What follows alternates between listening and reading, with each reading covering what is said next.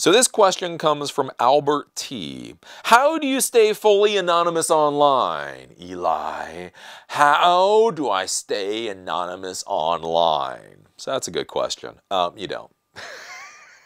Oh, I'm sorry. Did I answer that question already? Yeah, you don't. Um, the whole idea of staying anonymous online um, is ridiculous and foolish and just idiotic. Like the thought that you would use any services on the internet and the web and be anonymous is a joke. It is laughable. It is beyond laughable. It is something that that should be scoffed at. It just doesn't it's the foolishness that, that people who watch movies and then think they're hackers come up with, right? Um, there, there is no real way to stay anonymous online. The reality is, is that you can always be tracked online. The only question is, is how many resources uh, does the person who wants to track you want to devote to trying to track you? So even if you, even if you, you know, do this whole hacker thing and you're, you're, you're bouncing your packets through multiple uh, proxy servers and VPNs and Tor network and all this kind of horse crap. One, your internet, your actual internet connection speed is going to go back, go down to like two kilobits per second. But two, even if you do that, even if you bounce your, uh, your, your internet traffic through 10 different proxy servers, let's just say it still works, um, you can still be tracked. The reality is, the reality is, is that when the internet was developed, when TCP IP4, the internet protocol, the, the, the, the networking protocol that we use for the internet was developed, they weren't worried about being anonymous. Uh, this was all supposed to be trusted computers on trusted networks communicating with each other. And why would you want to be anonymous if it's trusted computers on trusted networks talking to other trusted computers on other trusted networks? It just, uh, being anonymous just did not come up, um, or at least was not put into the plan when the whole internet and the World Wide Web as it's been developed now um, was was being created. Beyond that, uh, there's a lot of commercial interests and also government interests out there uh, to be able to track people when they go online. And so the issue is is basically what you have when you go on the uh, when you go on the internet. What you have to realize is one, the system was never effing built uh, for you to be anonymous, and two lots of lots of companies and lots of government organization with billions of dollars in budgets have no interest in you staying anonymous.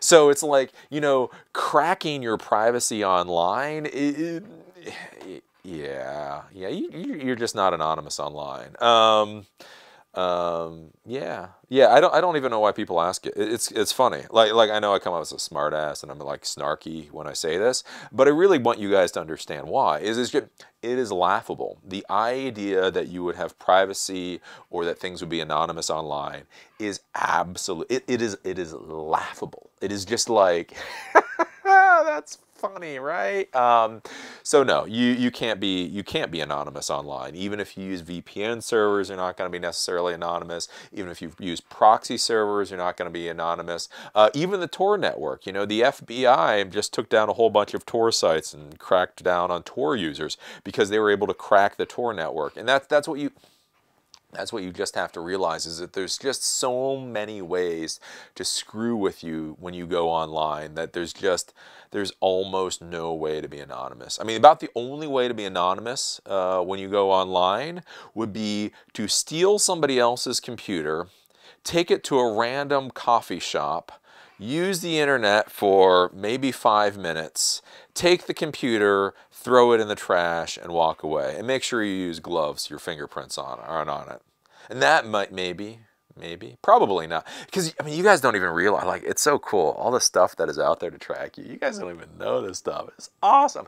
Have you guys even heard of, a, it's called e-biometrics.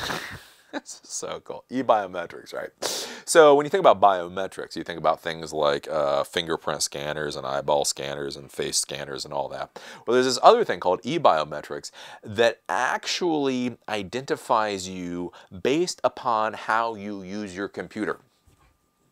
So when you do, when you do something like you go to a website and you plug in a search term, so you search for something on the internet, they can actually determine who you are by how long it takes you to type in KE. Like when you type in that search query, it will actually determine who you are based on how long you press down an individual key for. So when you press T, that you, you press down on T for 0.03 milliseconds, and when you press down on E, you, you press down and for 0.05 milliseconds, and when you type out a whole word, that takes a that takes 1.15 seconds or whatever like that. And they can take all of that information and basically assign that a number, and that number is now you. And now that they have a number, they can track other things, you know, geolocation and all that kind of stuff.